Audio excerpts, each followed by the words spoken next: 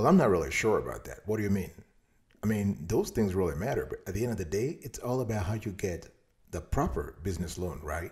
So, in today's conversation, what I want to share with you is uh, how to get approved for a large amount with bad or fair credit when it comes to consumers credit union business loan. Okay, how do you get a, a huge consumers credit union business loan with bad or fair credit? Don't go anywhere if you're interested in today's conversation, and I'm sure you are interested. I'll guarantee it, you're going to love the content.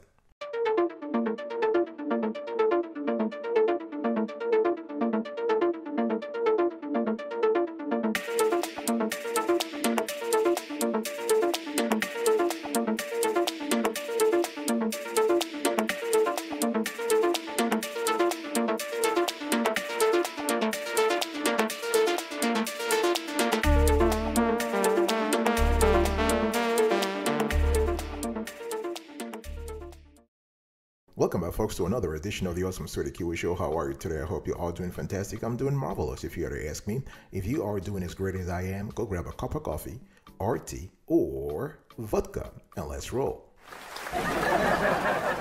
In today's conversation, I want to speak to you quickly about how to get approved for a consumer credit union, consumers credit union business loan for bad or fair credit and a large amount. The first thing you need to do is you need to get your act together. Very important. When we speak about getting a, a loan, a large EIN only business loan from a consumer's from a credit union for that matter, you need to be organized, okay? And we and Consumers Credit Union is an excellent credit union for small businesses and startups, especially when it comes to business loans for bad or fair credit but you've got to be organized. First of all, you need to have your EIN. I'm not even going to go in detail here. Everybody understands what it is. EIN stands for Employer Identification Number. You go on the IRS website, you get it. It takes five, ten minutes tops, and that's all it is. All right. Then you need to incorporate. Uh, please, I want you to drop the sole proprietorship uh, clothing that you currently have with your business. I want you to incorporate. Do you hear that? Incorporate. I don't care if you have a side gig, if you have, if you are a one man or one woman business.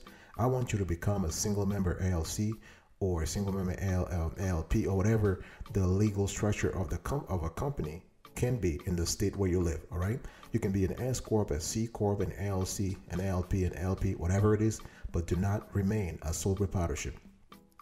You also want to take care of business permits and licenses. If you are in an industry where uh, regulators ask for a constellation of uh, permits and licenses, you want to take care of that. You want to abide by laws in the industry where you operate. You also want to set up accounting and internal controls. The reason why I'm telling you all this, guess what? Consumers Credit Union is going to check for those things when, when comes time for the application. So you might as well just take care of it beforehand, okay? So you want to set up accounting and internal controls. You want to th- think about tax compliance. When I talk about when I talk about tax compliance, I'm speaking about not only income taxes but also the bevy of taxes you have to take care of at the local and state and county levels, right? The state tax is not really tax you have to pay as a business. It's just a transfer of uh, income that is due to the government, but you got to pay payroll taxes. You have to pay other taxes depending on the industry you're in. I also want you to check your credit scores. Credit scores, check your credit scores at the business level and at the personal level just to make sure that everything is clean, everything is accurate. If there is any issue, you want to dispute it with all the three credit bureaus at the personal level. I'm speaking about um, Experian, TransUnion, and Equifax. At the business level, you want to pay you want to pay attention to what's in your Duns record file. So your Dun and Bradstreet file. Okay. Step number two. So the first thing, or after you took care of uh, your internal uh, stuff, right? You got to join Consumers Credit Union, and you need to meet with the rep. Now, it's very easy to join Consumers Credit Union. There is no affiliation. There is no uh, military. There is no professional affiliation or geographic affiliation to uh, to fulfill. It is open to everybody. Okay. Any and if you you you can simply donate five dollars to the Consumers Cooperative Association. Very easy. And the cool thing here is that uh, application and payments for membership to the Consumers Credit to the Consumers Cooperative Association can be done at the end of the application process. All right. So to uh, actually join uh, Consumers Credit Union, you got to be 18 years or older. You, uh, even though minors can also uh, join, right? So if you're uh, under 17, you can also join. And uh, basically, you need to have a valid, unexpired U.S. government, federal, or state issued ID that includes a photo I'm talking about driver's license, U.S. passport, or state ID. And uh, for pictures ID not having your current address, you will need to bring additional documentation. For example, two current, not past due, utility bill for utility bills for your current address. Okay, and for non-U.S. citizens, you need to have for Mexicans, for example, for Mexican uh, citizens, for example, you need to bring uh, the Mexican matricula consular ID and your original ITIN letter. ITIN stands for uh, individual tax identification number okay? And you you can also have a u.s permanent alien resident card the green card and your social security number a social security card and you can also have a current utility bills okay? A- any question you just want to contact consumers credit union ccu they'll uh, walk you through everything okay? And uh, also they are asking for additional items for loan applications. So you want to have your last two recent pay stubs your two recent years of tax returns either at the personal level, your 1040, or at the business level, your 1120 or, or 1065. And they want to have also um, five references with complete contact information, including addresses and phone numbers. They want to have two utility bills for your current home address.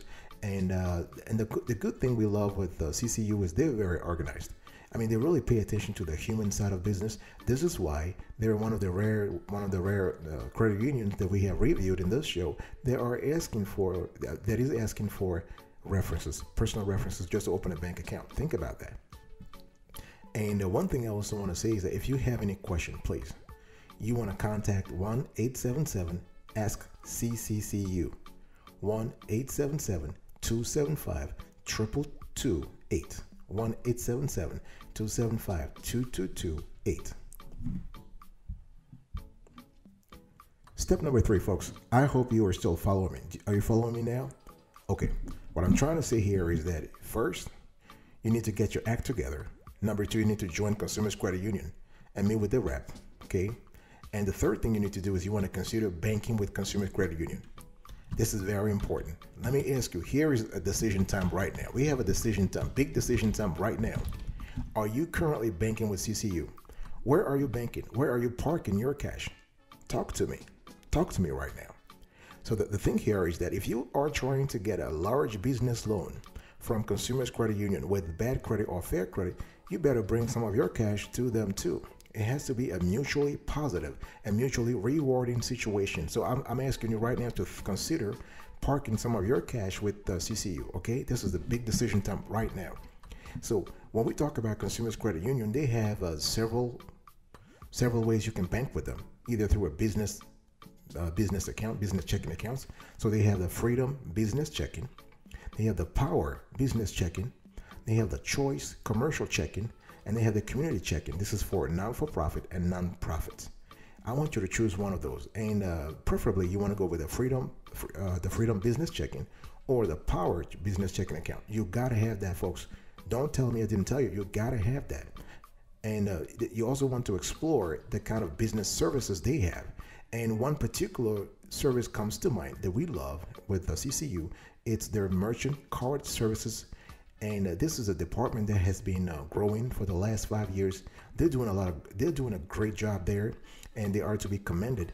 And uh, so basically, what has happened is that CCU has partnered with First Data to handle the processing of merchant card services. And this is the kind of service that allows business owners to accept credit cards. I'm talking Visa, MasterCard, Amex, or Discover, or debit cards for products and or services provided. And this service will allow your business to grow and keep up in today's tech savvy world. So if you are a a business that needs that kind of service, I would implore you, I would basically beg you right now to sign up with uh, with CCU, especially if your goal is to get a loan with them.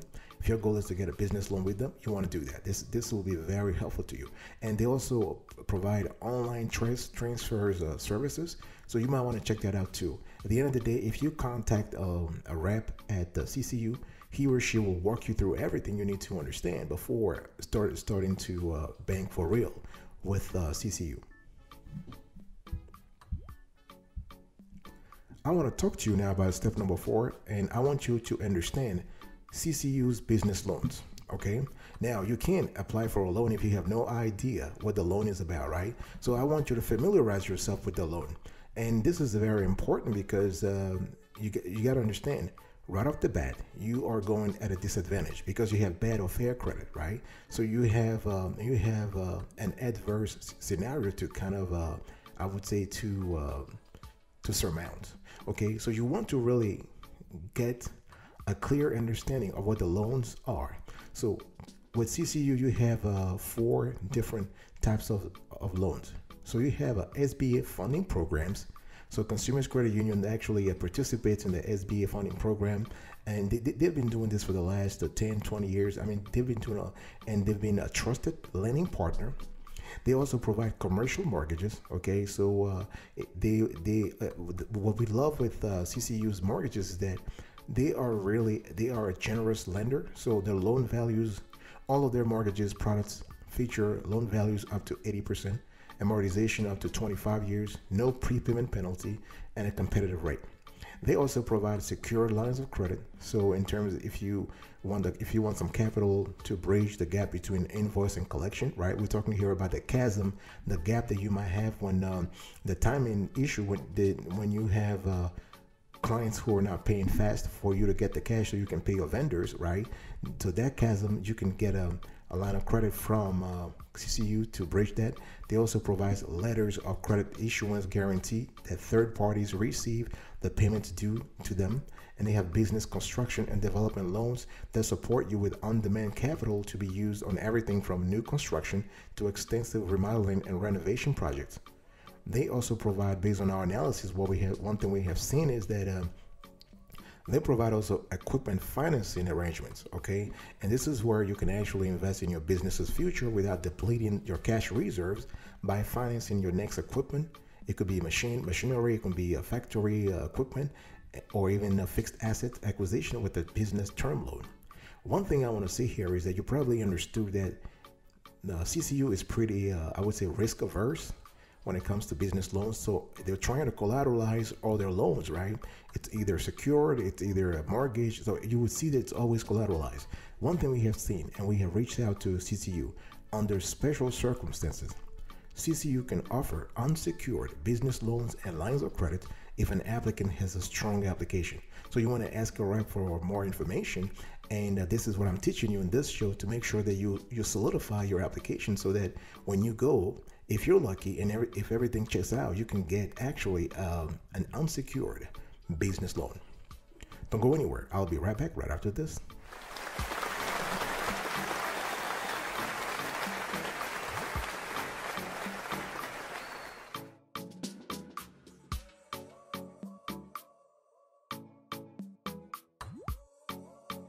Welcome back, folks, to another section of the Awesome S'witty Kiwi Show. I'm still talking to you right now about uh, Consumers Credit Union business loan. How do you get approved for a large amount with fair or bad credit?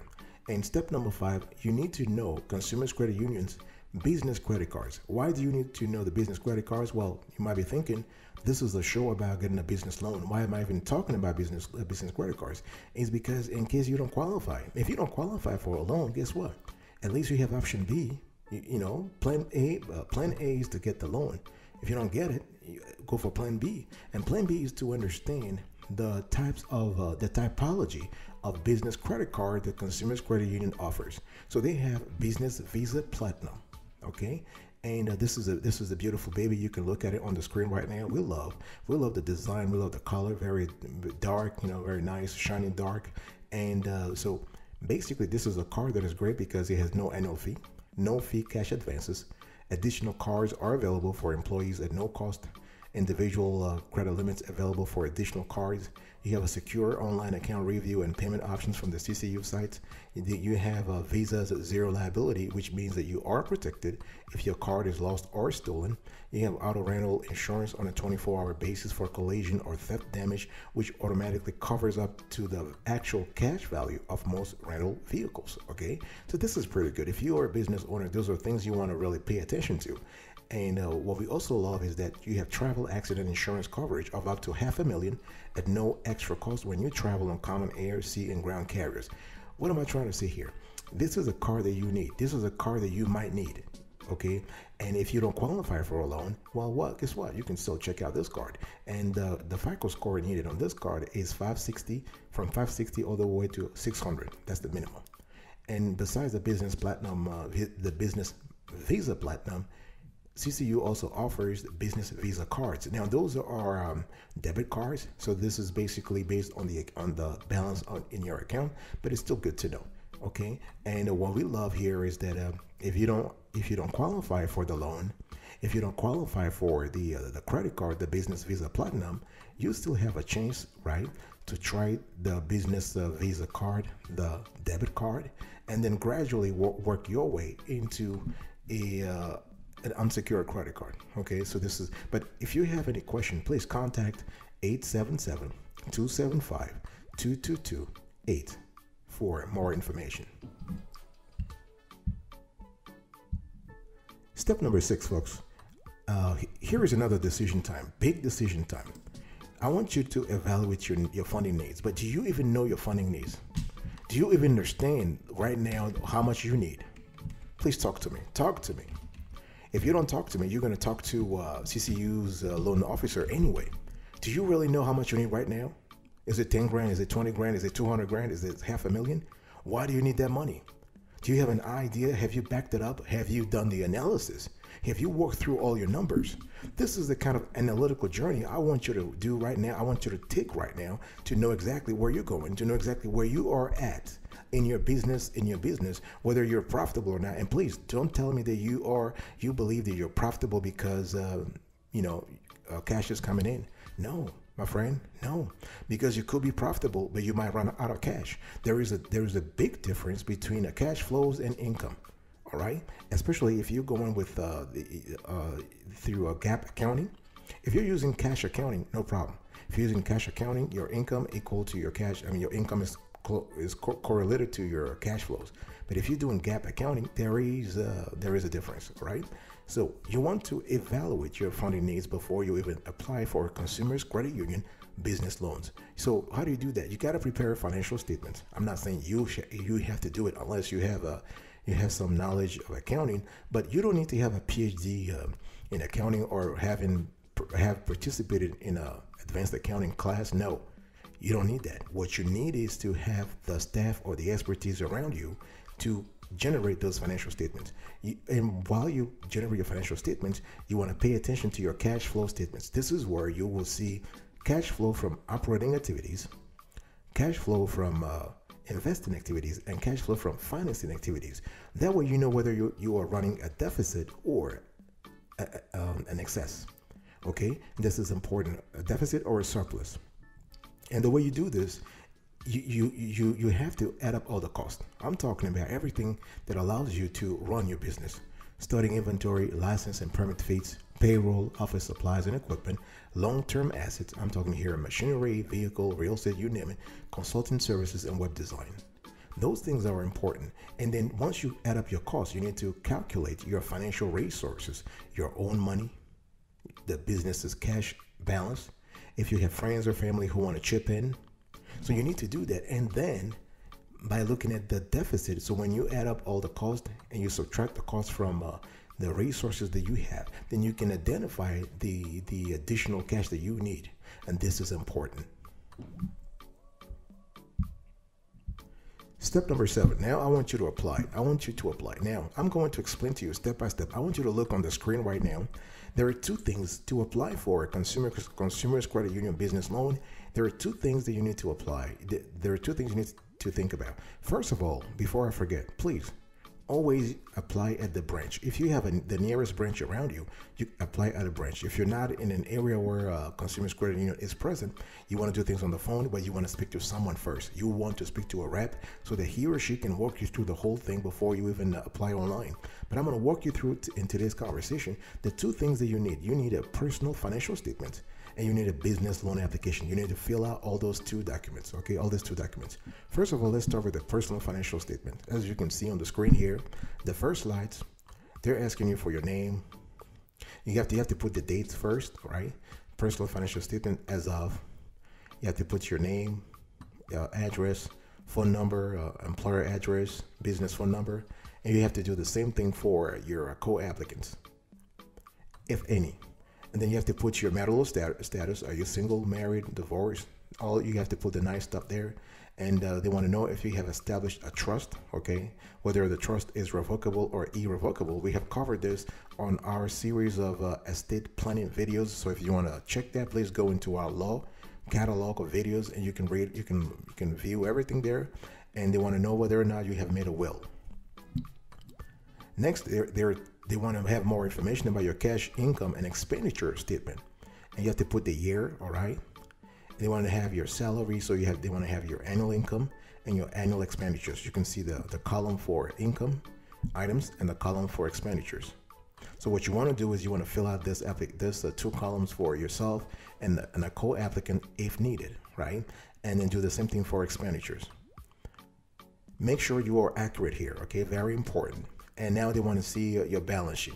So balance sheet is also called a statement of financial position or a statement of financial condition. It, it, just lists your assets, your liabilities, and your net worth. So when you subtract your liabilities from your assets, that's your net worth. Assets is what you own, and liabilities is what you owe, your debts, your obligations, your financial obligations, that is. Okay? So you can see they want you to put everything um, um, in the asset category and the, in the uh, liabilities category. Moving on to the next slide here. So here they want to see, they, they want to add something called contingent liabilities. What is contingent liabilities? Contingent liabilities are things that are not yet your debts, but they might become debts. You know that the word contingent means it is depending upon something. Okay, so if there is anything you are you are a partaker of, if you are part of a lawsuit or something might happen to you, if something might just might just screw your life, I would say financially speaking, you want to you want to include that here. Okay, and the next slides they want to have more information about stocks and bonds that you have uh, participations in, your accounts receivable, life insurance, other assets, and, and personal liability. Okay, so this is a very detailed uh, financial statements. On the next slides, this is called Schedule F. So this is where you have to put your uh, personal residence and real estate investments. Schedule H, notes payable. And on the next slide, signature and affirmation section, you just sign and date. Now, I want to talk to you about the business loan application. This is kind of important too. So you can see on the first slide here, they want to have your, your name, they want to have your address, all the kind of basic information. And uh, they want to ask you, they want to know how much you want to borrow, right?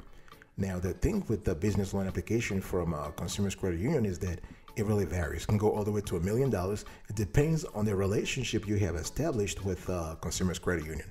It's all about relationship, folks, right? Did you hear that? Relationship. When it comes to money, if you want to get the moolah, that moolah that you want to get, if you want to get it and you don't have the right, the proper credit, credit score, that is, you want to establish relationship. And so they are talking to you about what, what they said, the proposed loan terms. You have to put the loan amount that you want, the interest rate, variable or non-variable, the loan term in months or years, the business purpose of the loan. This is very important. They want to know what you what you're planning on doing with the money. And here, the next slide, they are talking about type of collateral. This is where, as I was telling you earlier, Consumers Credit Union want to wants to collateralize or their loan, but under the right circumstances and with the right preparation, they can waive this part. Okay, so this is why you want to speak to a representative first as you are walking through the application. Otherwise, if you have um, collateral you want to pledge, just go ahead and uh, check the proper the proper uh, box here, and uh, that should be it. And in terms of payment types, they want to know whether you want to do installment payments, single payments, interest only with the balloon payment, all that kind of stuff. All this depends not only on your liquidity, on your company's liquidity, but also on um, the conversation you have with the, the loan rep, as well as your own credit worthiness. Next slide, we are, they want to talk about, they want to have some information about your company, right? This is important. As I was telling you at the beginning of this show, you need to forget about the word sole proprietorship if you're trying to get a large business loan. And I don't care whether you have an 800 credit score or you have a 350. It doesn't matter. What matters is that companies who want to lend, want to lend you, let's say lenders, want to lenders who want to give you one million dollars in loans, they want to make sure they're dealing with a company, not with an individual. It's still risky for them, all right? And you have to understand that makes sense. They are trying to cover their ass Very important for them to cover their ass because you know everything can happen. You might default on the on the loan and they might be screwed. So they don't want that. So you need to put there the, the here on the screen right now. You need to put the type of organization you have, the name, the DBA doing business as, and you need to attach copies of uh, articles of, of organization or articles of uh, of uh, incorporation. And the next slides, you need to put more information about the business, the principal place of of uh, business, the guarantor, if any, and you need to attach your individual financial statements, federal tax returns, and other types of information. And the last slide here, you just have to sign. So this is where you have to sign, you have to print your name and date the whole thing, and that's it. And another uh, slides, the the third, uh, the second one. Okay, you have all the information here, and that's it. All right, folks, this is it for today's conversation. I was actually quickly talking to you about how to get a large business loan approved from a consumer's credit union with bad or fair credit. So, number one, you want to get your act together. Number two, you want to join Consumers Credit Union and meet with the rep. Number three, you want to uh, bank with Consumers Credit Union. Number four, you want to understand Consumers Credit Union's business loans. Number five, you want to know Consumers Credit Union business credit cards, very important. Number six, you want to evaluate your funding needs. And number seven, last but not the least, you want to apply, but especially you want to make sure you fill out two important documents properly. We're talking about the PFS, your personal financial statements, and your business loan application, your BLA. Very important. Good luck. God bless you. I will speak to you another time, but until then, remember, stay marvelous.